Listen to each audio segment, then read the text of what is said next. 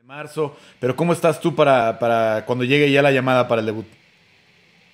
Nada, con mi equipo siempre nos mantenemos listos y, preparados para cualquier cosa, agarrar un short notice o cualquier pelea que nos, que nos ofrezcan que, que, sea buena para nosotros. Entonces, eh, siempre nos mantenemos listos, siempre estamos listos, lo que es físicamente.